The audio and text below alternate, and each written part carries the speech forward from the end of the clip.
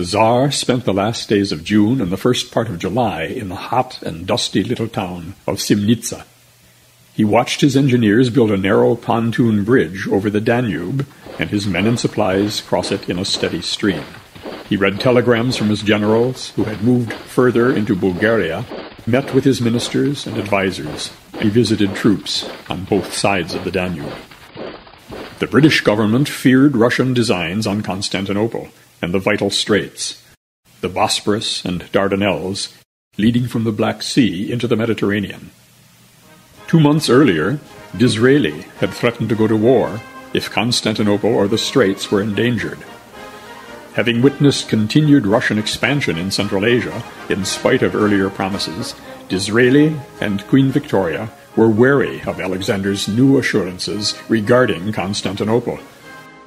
By January 1878, Russian troops were in Adrianople, and it looked as though they might soon be in Constantinople. By this time, Alexander was back in St. Petersburg, having returned in December to a tumultuous reception of ringing church bells, booming cannons, and shouting crowds. The day after the capture of Adrianople, the Tsar's brother Nicholas wrote to Alexander that it was necessary to take Constantinople. But fear of English and Austro Hungarian intervention restrained the Tsar. He ordered his brother to advance without attempting to take either Constantinople or Gallipoli, which overlooked the crucial Dardanelles.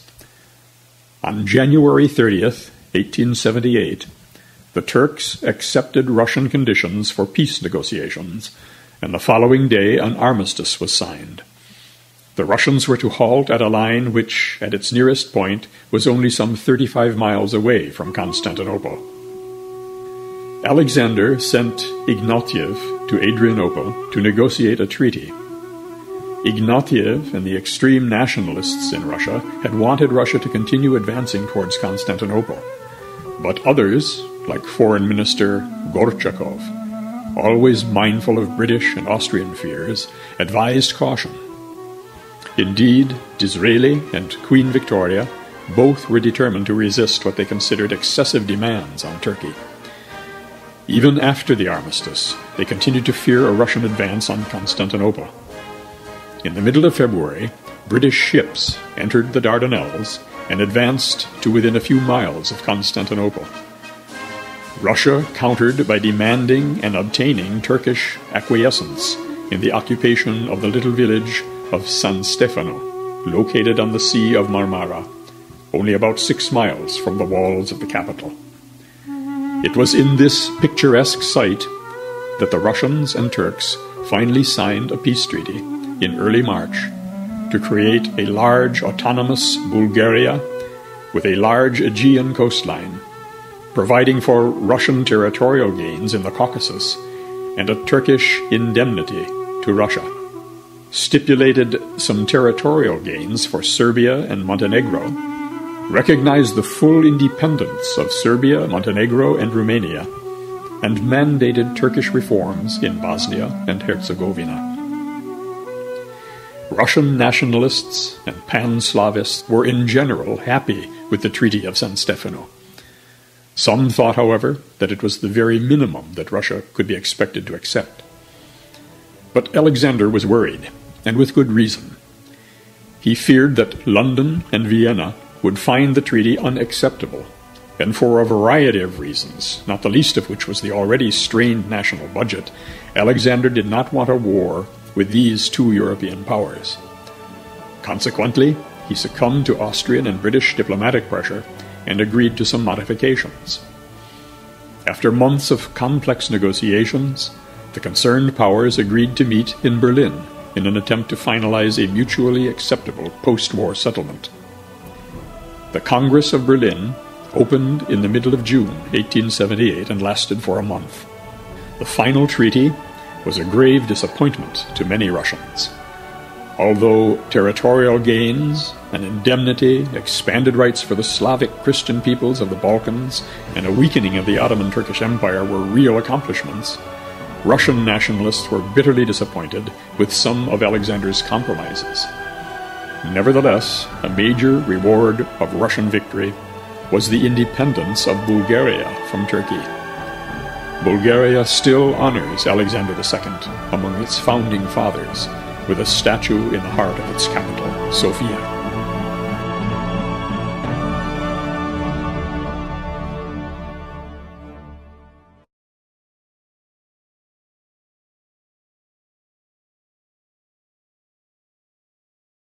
Baha'u'llah's tablet to Alexander II was revealed in Akka around 1868-69.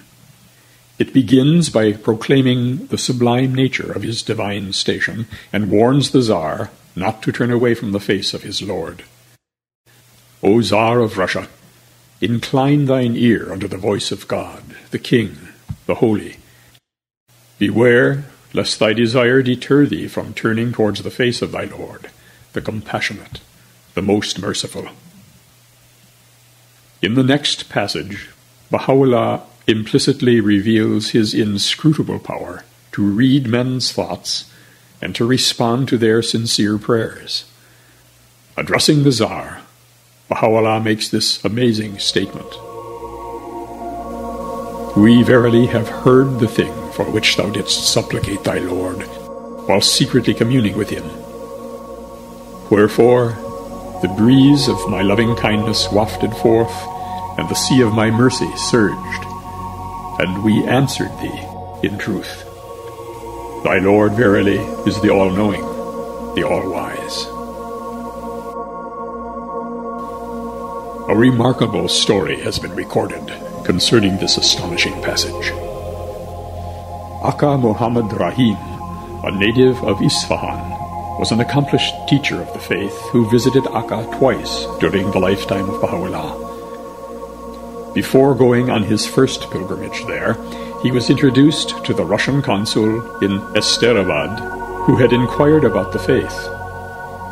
During one of their discussions, the consul indicated that he was interested in learning the meaning of the passage in Baha'u'llah's tablet to the Tsar, which states that Baha'u'llah had answered a prayer of the Tsar. The consul wanted to know what the Tsar had asked in his prayer, which was granted to him.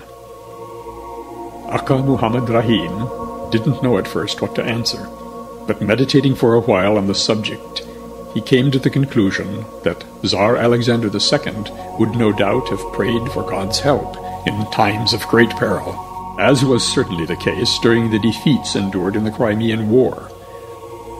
At such times he thought the Tsar would have prayed to God to make him victorious in his fight against the Ottomans and to reverse the defeats he had suffered.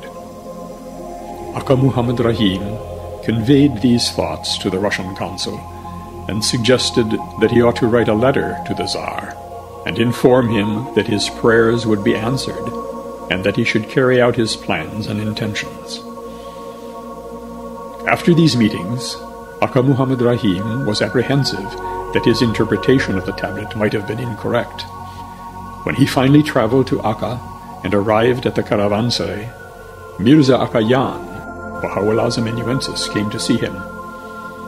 Among other things, he asked about the sessions with the Russian consul in Esterabad and about what was discussed. But Aqa Muhammad Rahim was apprehensive and did not mention the exchange they had had about the tablet to the Tsar. The following morning, Abdul Baha, the eldest son of Baha'u'llah, known as the Most Great Branch, visited Aqa Muhammad Rahim, who felt obliged to tell him the whole story exactly as it had happened, and confessed that he might have made a mistake in his answer to the consul's question about the meaning of the tablet. To his relief, Abdul Baha told him that the statement he made was the truth. Abdul Baha explained that on a certain day, Baha'u'llah intimated that at that very moment someone was reading the tablet of the Tsar. He said, The Russian consul asked one of our servants, What was the prayer of the king? The answer he received was correct. Then Baha'u'llah said, That person was Aqa Muhammad Rahim-i Isfahani.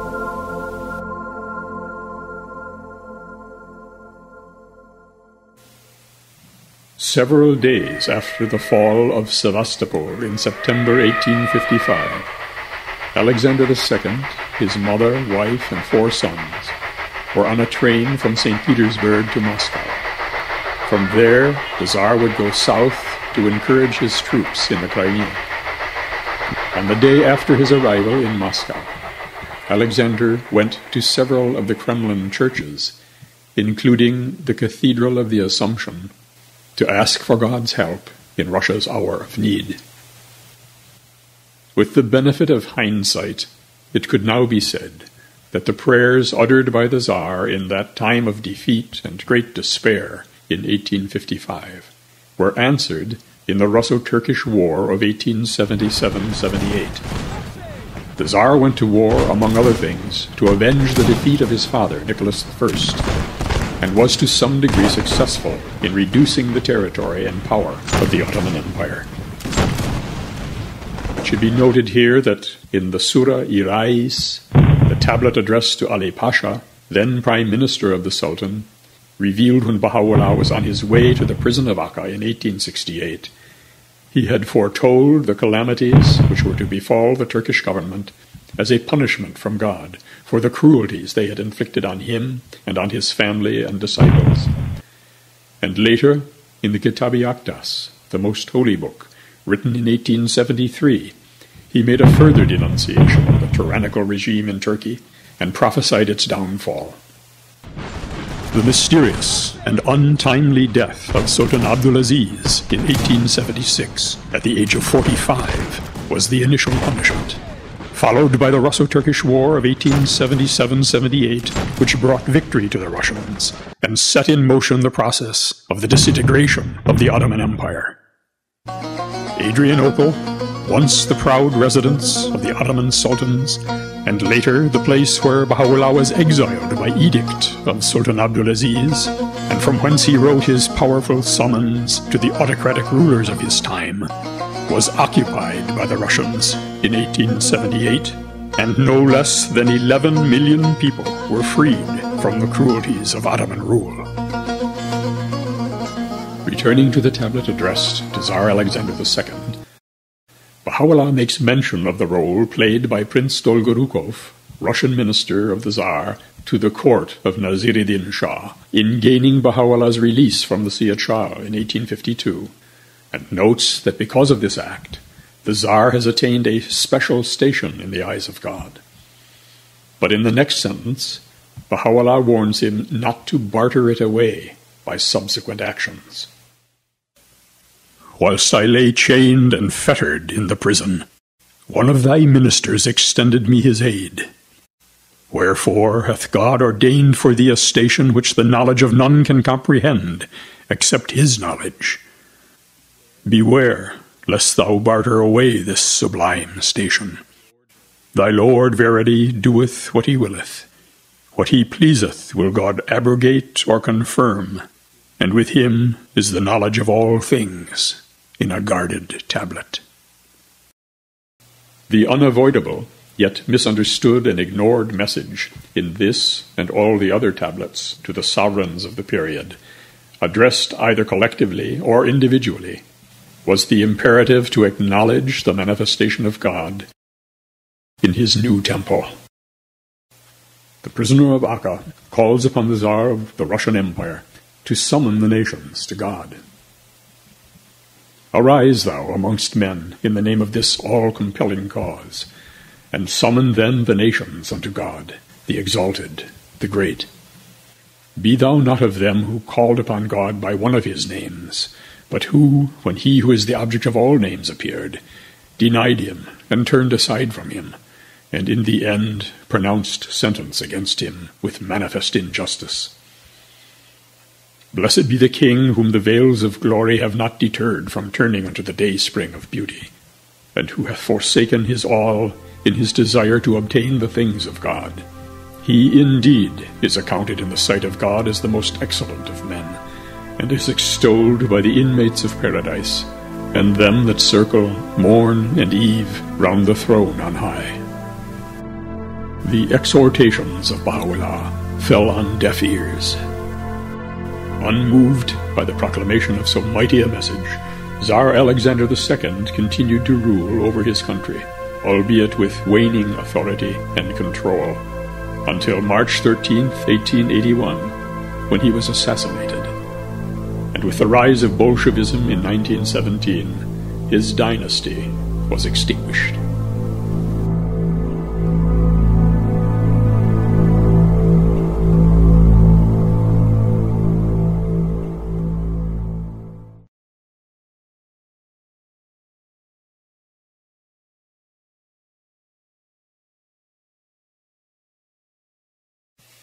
Alexandrina Victoria, the only child of Edward, Duke of Kent, and Victoria Maria Louisa of Saxe-Coburg, was born on the 24th of May, 1819, one year and seven months after Baha'u'llah was born.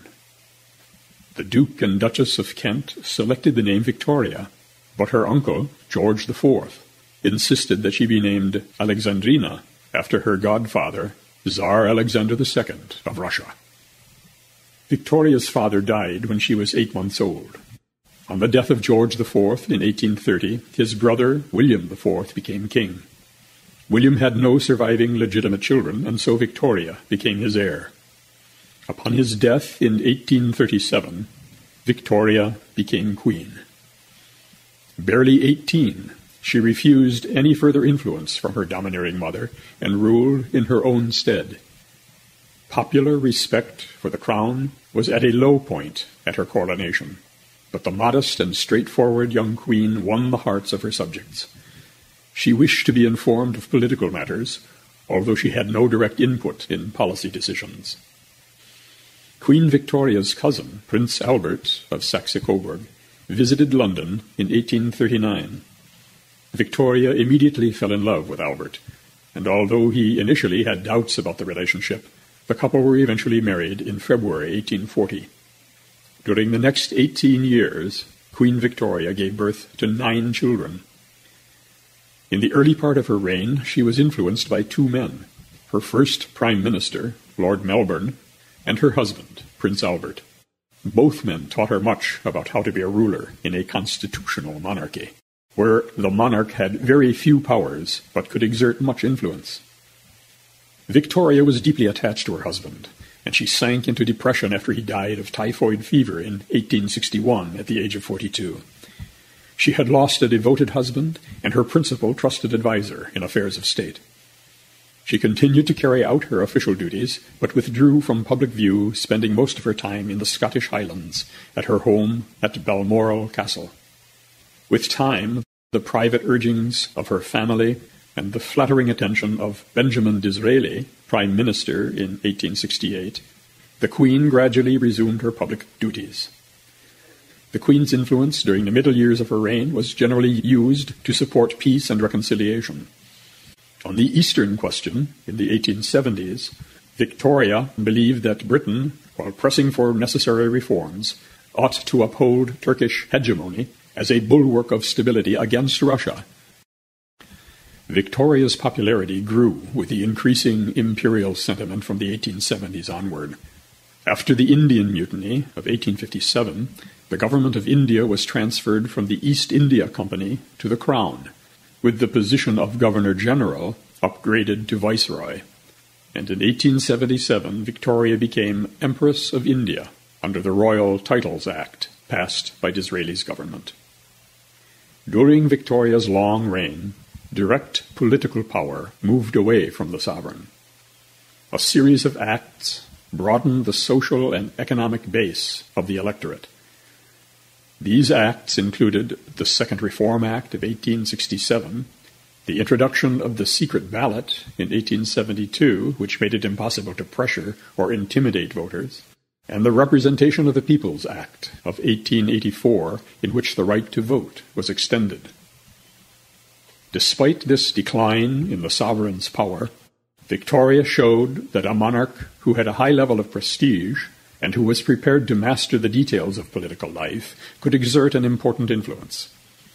It was during Victoria's reign that the modern idea of the constitutional monarch, whose role was to remain above political parties, began to evolve. She was a very strong supporter of empire. In her later years, She almost became the symbol of the British Empire. At her death, it was said, she ruled over an empire on which the sun never set. Queen Victoria died at Osborne House on the Isle of Wight on the 22nd of January 1901, after a reign which lasted almost 64 years, the longest in British history. She was buried at Windsor beside Prince Albert in the Frogmore Royal Mausoleum, which she had built for her final resting place. Above the mausoleum door are inscribed Victoria's words Farewell, best beloved. Here at last I shall rest with thee. With thee in Christ I shall rise again.